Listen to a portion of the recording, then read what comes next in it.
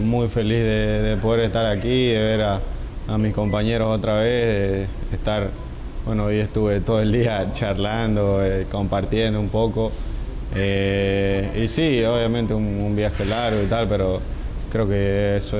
no viene al caso, el tema del viaje hoy. Eh,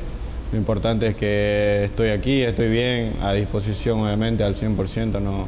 no tengo ninguna molestia, nada, así que yo estoy al 100 y bueno, hay que, ver qué dice el profe. ¿no? Sí, bueno, sin duda, eh, como lo dije en su momento, me va a ayudar a crecer, es un fútbol muy competitivo, muy fuerte, eh, así que, que, poco a poco irá siendo un aporte para mí, para mi carrera y bueno, eh, también un, aprendizaje como, como, como, se es en, cada partido. Hoy me siento bien, eh, siento que,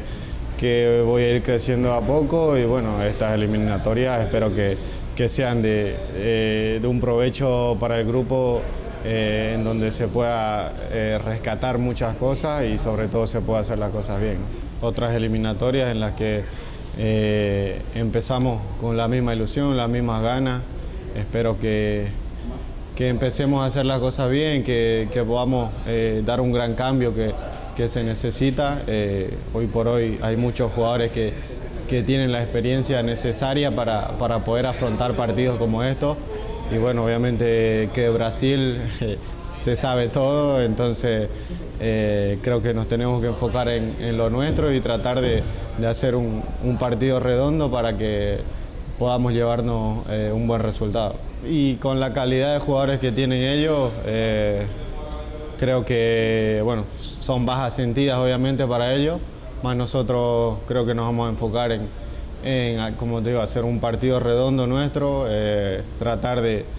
bloquear las partes fuertes que,